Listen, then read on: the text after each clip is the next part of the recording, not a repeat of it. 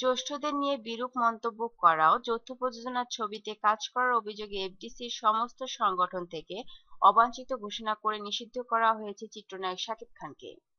সেই সঙ্গে যৌথ প্রযোজনার নামে দেশের প্রচলিত আইন যারা ভেঙেছে, তাদের সঙ্গে জড়িত সব শিল্পী, পরিচালক, প্রযোজক ও কলাকুশলীদের নিষিদ্ধ করা হয়েছে। শুক্রবার বিকালে বিএফডিসিতে চলচ্চিত্র সংশ্লিষ্ট ষোলোটি সংগঠন নিয়ে গঠিত চলচ্চিত্র ঐক্যজোটের সংবাদ সম্মেলনে এই ঘোষণা দেওয়া হয়।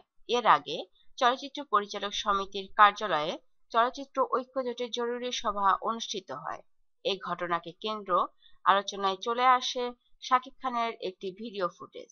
গত আঠারোই জুন রাজধানীর এক রেস্তোরাঁয় বাংলাদেশ চলচ্চিত্র প্রদর্শক সমিতি আয়োজিত সংবাদ সম্মেলন থেকে ধারণ করা হয় ভিডিওটি।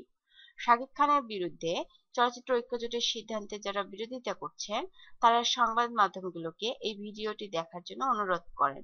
বর্তমানে শাকিব খান আছেন সেন্ট্রাল লন্ডনে।